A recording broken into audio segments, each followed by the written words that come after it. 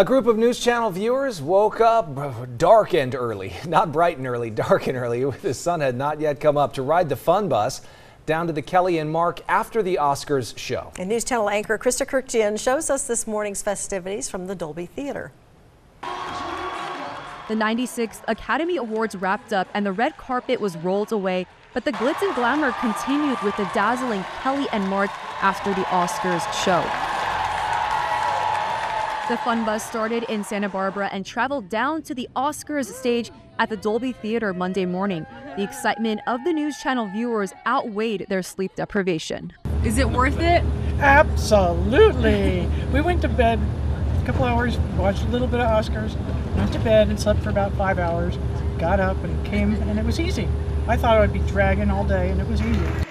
And our viewers weren't the only sleepy ones. Um, I think I woke up about 15 minutes into the show, which was the first thing. Like, oh my gosh. Wait, this is... you didn't wake up? You did that whole entrance with the stairs and the I thing? was out of body. Oh. out of body. The show was jam packed with exclusive backstage interviews with Oscar winners and award presenters, a recap of Oscar Sunday with Jesse Palmer, and a visit from comedian Sebastian Maniscalco.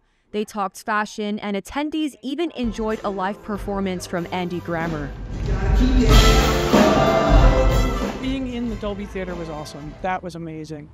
And uh, just, just being there and feeling all the energy. Like that, that was probably the best part, the energy. Following Ryan Seacrest's departure from the show last year, this was Mark Consuelos' first after the Oscar show.